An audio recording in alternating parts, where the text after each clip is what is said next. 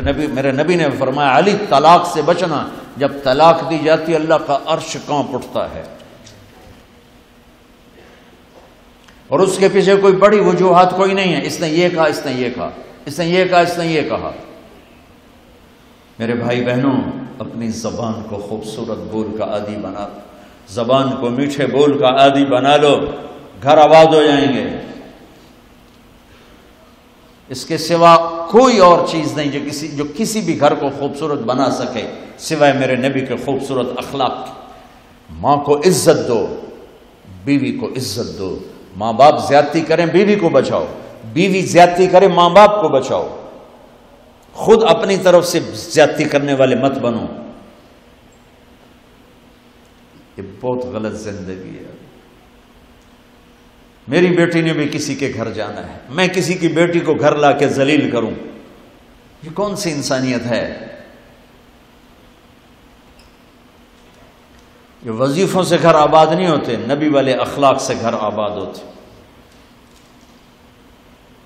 یہ ایک اخلاق کا رشتہ ہے۔ ساس سسر کا بہو پہ کوئی حق نہیں شرعی، کوئی شرعی حق نہیں ہے۔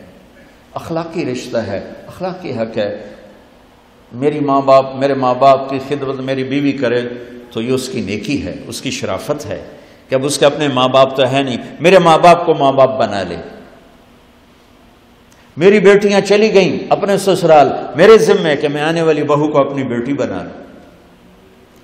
لیکن ہمارے بر صغیر کے معاشرے میں سسرالی نظام ظالمانہ ہے ظالمانہ ہے۔ میرے نبی والا طریقہ نہیں ہے، میں درد سے کہہ رہا ہوں۔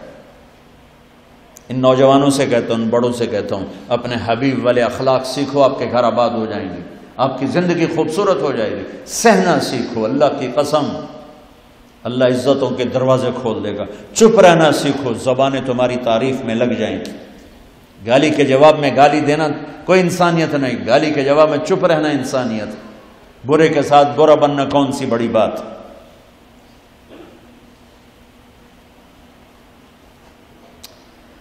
ہے میرے بھائیو، میں کہتا ہوں بڑے دکھ کے ساتھ، سو میں بیس نمازی مل جاتے ہیں، تیس بھی، چالیس بھی، پچاس بھی، سو میں سو نمازی مل جاتے ہیں ہمارے پٹھانوں میں، اور عربوں کے علاوہ، میں موریتانیہ گیا، سو فیصد نمازی، پورے ملک میں کوئی بے نمازی نہیں۔ روزے رکھنے والے بھی سو میں تیس، چالیس ہیں، حج کرنے والے کروڑوں، عمرہ کرنے والے کروڑوں، نماز پڑھنے والے کروڑوں، ذکر کرنے والے کروڑوں، خانقاہی نظام کے پیر، مرید کروڑوں۔ علماء، طالب علم کروڑوں، لیکن اخلاق والے ڈھونڈنے نکلا ہوں۔ کمر جھک گئی، نظر کوئی نہیں آئے۔